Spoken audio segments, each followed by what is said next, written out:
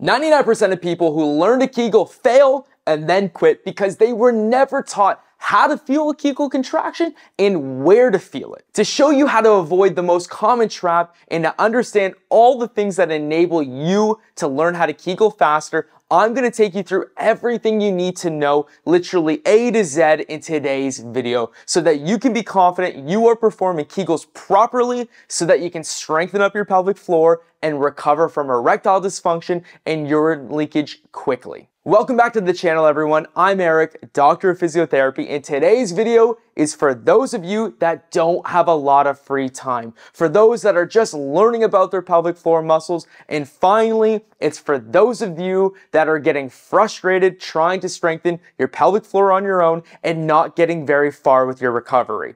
I have discovered a straightforward method that even the biggest beginner can follow and learn how to Kegel properly. I'm here to help. Watch the video all the way to the end to soak up all of the knowledge and practical tips. Let's get into it.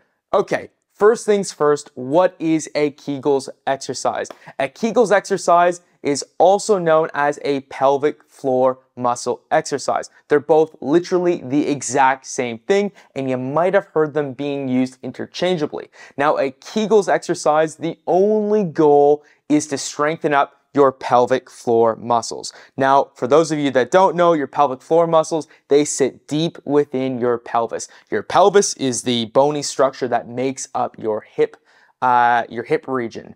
Now, the goal of these muscles and their use is to act as a hammock. So they literally attach from your pubic bone up front all the way to the tailbone around back. And they act as a hammock that supports all of your internal organs. Now, on top of supporting your internal organs, these muscles, your pelvic floor muscles, they play a pivotal role in helping you to achieve and maintain a firm erection and to also help you control your bladder so that you don't leak urine. Now, if you're watching this video, you are probably having issues with either erectile dysfunction or urine leakage. Now, if you're just learning about these muscles, that's okay. Cut yourself some slack because for most of us guys, we never even knew that we've had them. Sure, we know that women need to strengthen up their pelvic floor after giving birth, but for most of us men, unless we're going through erectile dysfunction or urine leakage, yeah, we just go throughout our lives not knowing that we have a pelvic floor.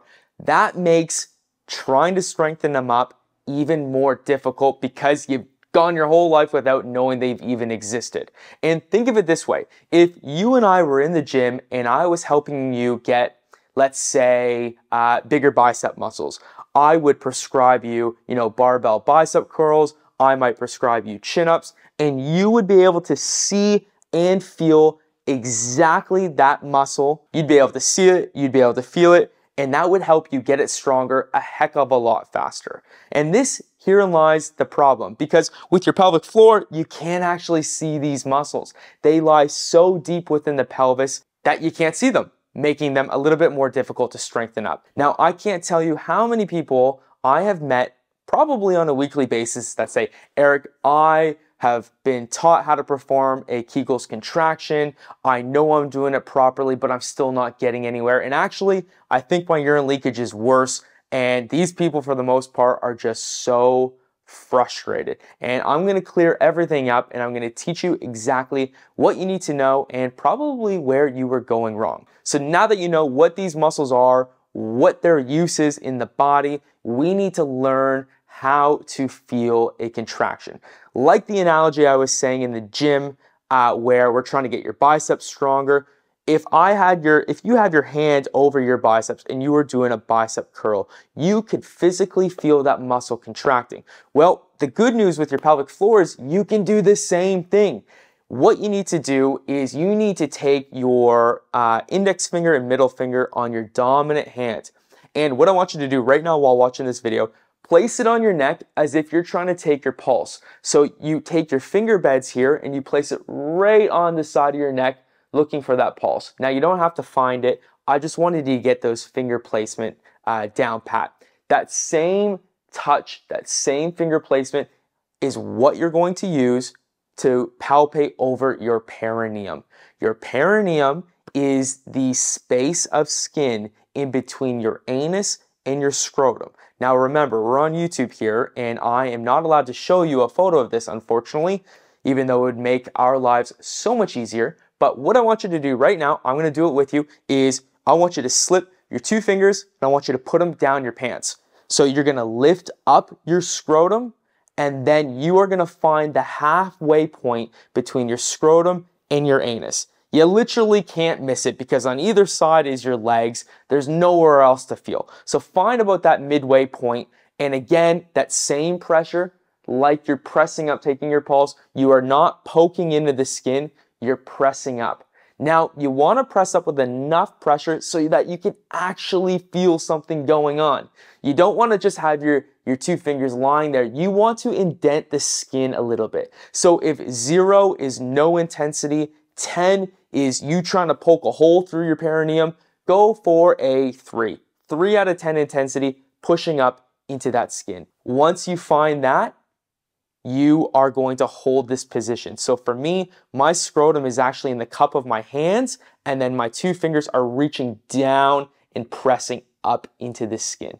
So now that I've got this area locked and loaded, that is the position you need to adopt every single time you are doing a Kegels contraction. You need to put your fingers down there because if you don't, you don't actually know if you're doing it properly. And because you can't see these muscles, it leaves a lot of confusion.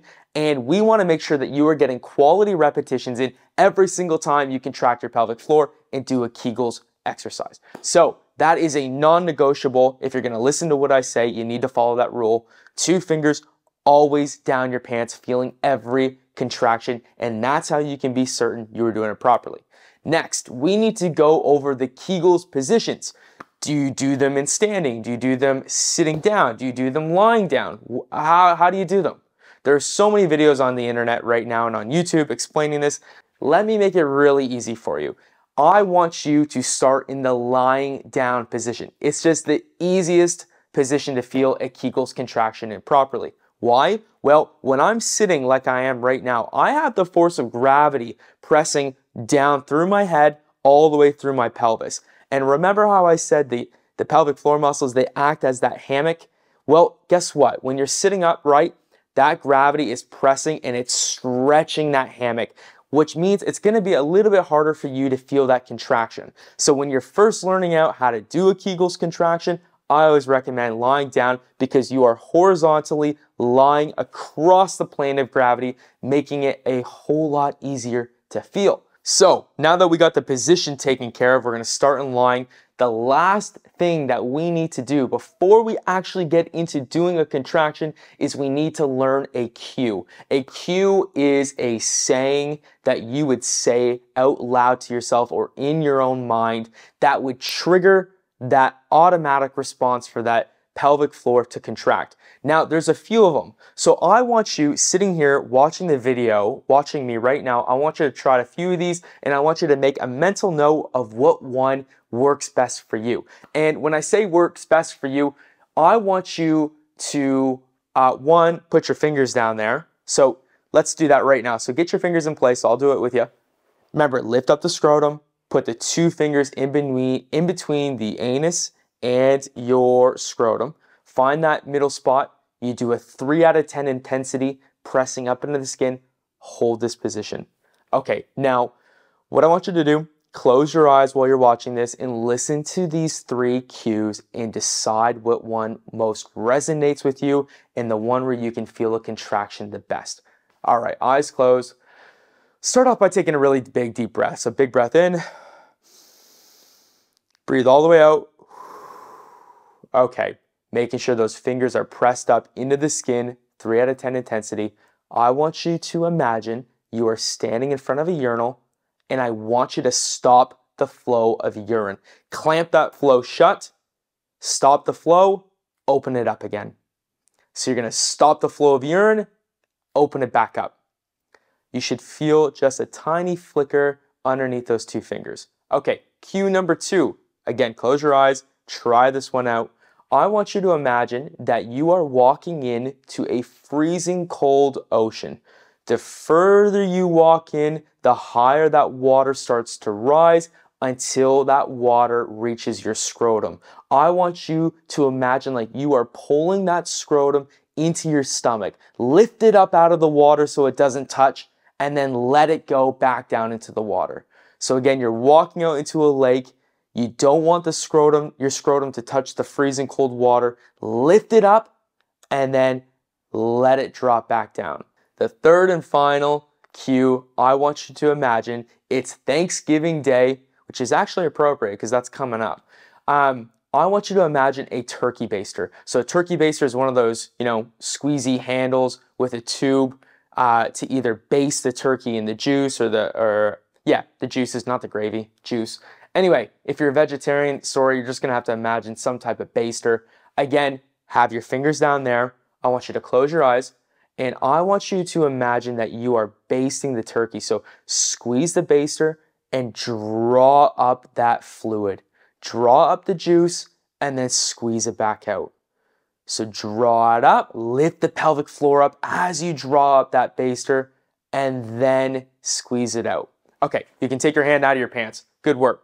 So the key with these cues is one of those three, you should have felt a flicker underneath your fingertips. You're probably asking yourself, oh, Eric, how do I know if I felt a flicker? If you could feel any bulge out into those fingertips, a small bulge, a big bulge, I don't care. Any movement at all underneath those fingertips, that is your pelvic floor contracting. You've done it. Literally any movement at all, that's your pelvic floor. How do we know it's your pelvic floor? That is literally the only muscle where you're putting your fingers that could have been doing that movement. And that is exactly what we want to replicate. Now, don't worry, if this flicker was only really small and it dissipated really quickly, that's okay. That's why you're watching this video. Your pelvic floor is very weak and it needs to be strengthened up. Now, what we've gone through so far is number one, I taught you what a Kegel exercise is and what the role of the pelvic floor muscles are in your body. Number two, we went over position. So we are going to start in the lying down position. And then number three, we went over a cue. That cue is going to be that saying that you say out loud every time. Oh, also, we went over palpation, how to feel it. We are now going to combine everything together uh, to do your very first Kegel's contraction. So I am now lying flat. I've got my physio table set up here. And notice I have my knees bent up. You don't want your knees flat. Bend them up because it makes reaching for that perineum so much easier. So let me just make sure I'm in camera frame here. All right. So what you're gonna do, you're gonna take your two fingers on your dominant hand. Again, the same placement as placing on the pulse. I'm gonna put my fingers, gonna lift up the scrotum, and I'm gonna place them on the skin directly in between my anus and my scrotum, and I'm gonna press up. So I'm pressing up in towards my head at a three out of 10 intensity. I am trying to feel everything going on underneath the skin. Next, with my feet touching the floor, I'm gonna place my, my free hand over top of the belly. This is to make sure that you do not clench your stomach muscles when doing a Kegel's contraction. So you're just gonna place the hand right on top of the stomach like this and just rest it here, okay? So now what you're going to do before you do your first Kegel's contraction is you're gonna take a big deep breath in and out. You wanna release any stiffness, any body tension. okay. Now, the secret to doing a good Kegel's contraction, doing it properly, is you need to close your eyes. I want you to imagine what you are about to feel underneath your fingertips directly between the scrotum and the anus, so over top your perineum. All right, my eyes are closed, my fingers are in place, my free hand is over my stomach, and my knees are bent up lying on my back. I'm gonna choose the cue that worked the best for me. So for me personally, the cue that works is stopping the flow of urine. So imagining I'm in front of a urinal. All right, so fingers are in place. Here we go, eyes are closed. I'm gonna take a big breath in through my nose. Expand the lungs all the way. And next, I'm going to breathe out through my mouth. Let all the air out nice and slow at the very end of that breath, I'm going to stop the flow of urine, stop it, and then I'm going to let it go again. And then finish the breath. Breathe in again. Suck as much air as you can in. Breathe all the way out. Feel all the air release at the end of the breath. I'm going to stop that flow of urine and then I'm going to start it again. Half a second. Squeeze and then let go. Just like that. And then I'm going to finish the breath. Now, that is how you do a Kegels contraction properly. I want you to try this out for yourself. The simple act of feeling that tiny bulge out into your fingertips, that is your pelvic floor contracting, and that is literally as simple as it gets. And again, while you're watching this video, it's probably gonna feel like a very faint flicker. That's okay. That's just gonna get stronger and stronger and stronger the more you practice. Now, we need to bust some myths here because I've had it up to here with seeing other videos just spewing nonsense on your pelvic floor. You've heard it here first. This is my opinion. I am so tired of guys and even women coming to me telling me that they have seen another professional that have told them they need to be able to hold their pelvic floor contraction for 15 to 20 seconds and you need to do 50 a day. I don't care who tells you this, they are wrong. That is not how your pelvic floor works and trying to hold it for 15, let alone 20 seconds is just not realistic and you're not going to be able to do it. I can't even do it. And my pelvic floor is perfectly healthy and I teach guys how to do this every single day. It's just not realistic and I don't want you following that advice. When you're starting out, even if you're an intermediate to an advanced, I stop at a six second hold. The most I get my clients to do is hold for six seconds, maybe 10 seconds if they're really good. Because Here's the thing, it doesn't matter how long you hold for, you need to make sure you have a quality contraction. If you squeeze, but you don't know if that pelvic floor has let go, you don't know how long you're holding it for, so it really doesn't matter. What matters the most is when you clench that pelvic floor, you stop that flow of urine, you can feel it release as well. If you can feel it clench and you can feel it release, that is a good quality contraction. Now, when starting out, you are only holding this for about a half a second. Stop the flow of urine, turn it back on. Maybe a second at the most. You need to practice this and master this before you even think about going on to doing a Kegels endurance hold.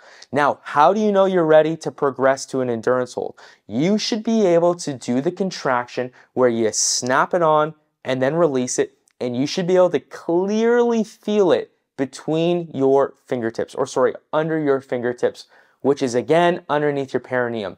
If you can do that and you can do 10 repetitions in a row where you can clearly feel the contraction snap on and then release, you are ready to go to an endurance hold. So you've got lots to practice. I want you dropping any comments you have underneath this video so I can answer any questions. Again, this is a very generic video because everyone's situation is unique, but I wanted to make a video that covers the nuts and bolts on how to do a Kegels contraction properly because it's literally the most common question I get. Now, if you haven't already, please make sure you click that subscribe button. If you like today's video, I post two of these literally every week and I go over every issue that us men experience in life, including all the embarrassing ones, so that you do not have to go through this journey alone. Thank you so much for supporting my channel. I hope you took something away from today's video. And remember, regardless of your situation, keep going and I'll see you in the next video.